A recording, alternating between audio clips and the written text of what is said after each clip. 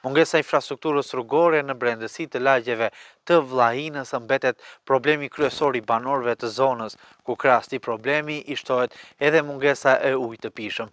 Çezmat u rrjedhin vetëm gjysmë ore në ditë.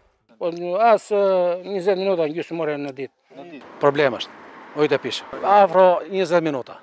Me makina e gomerë, kush nuk ka automjet, shkojnë të marrin ujë në fshatrat më të afërt. Jo, re, vem, blem, vem, marrim ujë në atë, Dashovic, ku të ketë ujë, nëpër këto, fshatra më të me makinë.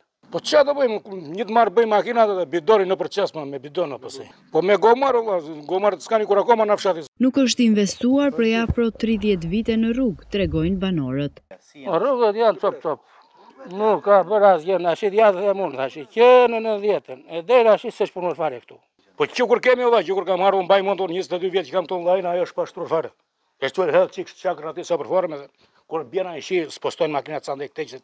Nga premtimet elektorale janë zhgënjyer. Nëpër lagje, këto do bëhen, këto është ai do këto këtu. Rrugët, të gjitha këtej, tha do i bëjmë tha. As kanë bërë asgjë.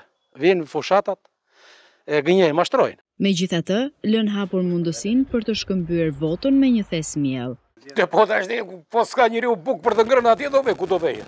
Te thesi i miellit do vejë. Sot në fshatin Vllahinë të bashkisë Selenicë, të rinjtë janë larguar, por edhe ata që jetojnë aktualisht sytë i kanë nga emigrimi.